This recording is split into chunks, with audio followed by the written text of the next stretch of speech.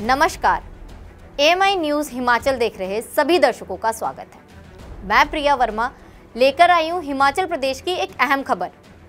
तो चलिए शुरू करते हैं। आपको बता दें, private hospital association Himachal Pradesh के प्रधान डॉक्टर रितेश सोनी ने कहा कि पहली फरवरी से हिम केयर हेल्थ कार्ड स्वीकार नहीं किए जाएँगे। अधिक समय से सरकार द्वारा निजी अस्पतालों का बकाया करोड़ों का भुगतान नहीं किया गया है। ऐसे में निजी अस्पतालों को कठिन समय का सामना करना पड़ रहा है।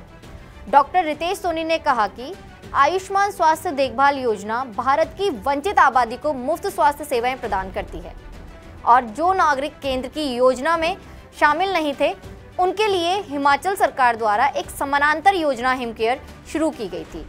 अब स्थिति यह है कि राज्य में लगभग हर व्यक्ति के पास यह स्वास्थ्य कार्ड उपलब्ध है। वह कैशलेस सुविधाओं का लाभ उठा रहा है। आपको बता दें, एसोसिएशन ने कहा कि दवा और स्वास्थ्य उपकरण आपूर्तिकर्ता आपूर्ति बरकरार रखने में अनिच्छुक हो रहे हैं, क्योंकि उन पर निजी अस्पतालों की आपूर्ति के भारी लंबित बिलों का बोझ है।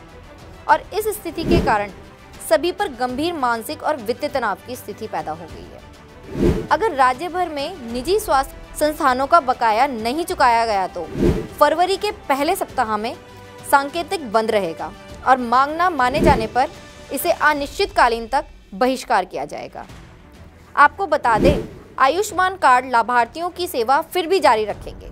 अद्विका की साल की सबसे बड़ी बॉक्सिंग डे सेल में आए और 70 प्रतिशत तक डिस्काउंट पाए।